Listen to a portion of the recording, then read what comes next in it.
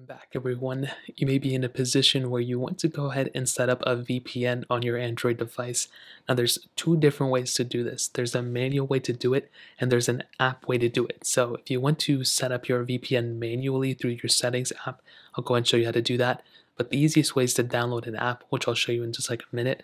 So if you want to do the manual method, what you want to do is you want to hop into your settings app so you want to go into settings just like right here. You want to find the search bar, which is right there, and you want to type in VPN.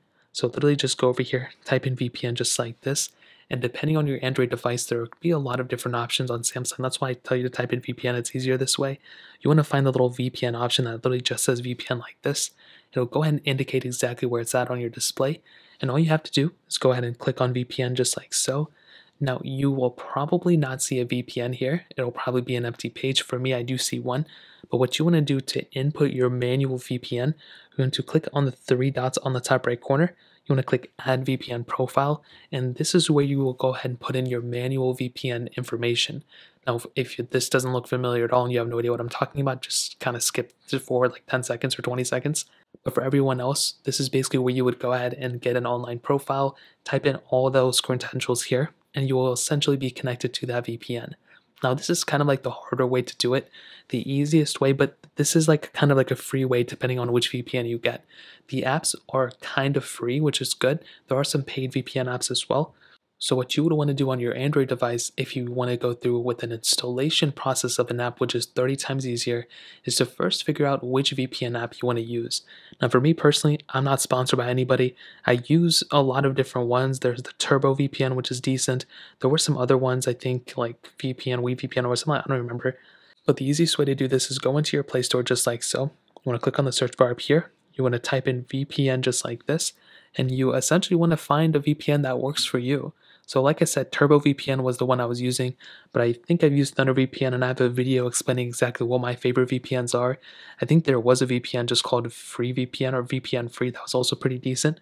So once you go ahead and have one of those apps downloaded, you want to go ahead and open it up. So in this case, I went ahead and had this one, so I'll open this one up. And you will essentially see a little splash screen that comes up just like this. Typically, there will be some ads. Now, you can buy a plan if you want to. I've never bought a VPN plan. I've never really needed to, to be honest. But if there's some reason you want to do it, then go for it. Then what you want to do here is you want to go and click tap to connect. And you will know a VPN works is if you see on the top left or top right corner of your display, you see the little VPN option that comes up. So for me personally right now, it hasn't set up, but it says connected right here. And as long as it says connected, you're pretty much set.